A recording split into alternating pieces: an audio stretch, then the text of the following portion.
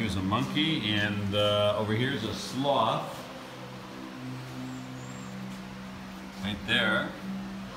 And we have some birds right here. Oh, I Do you even see that, it's so dark. And here is a couple of monkeys, you can't see those. And here's another monkey. Couple of I, I don't see anything.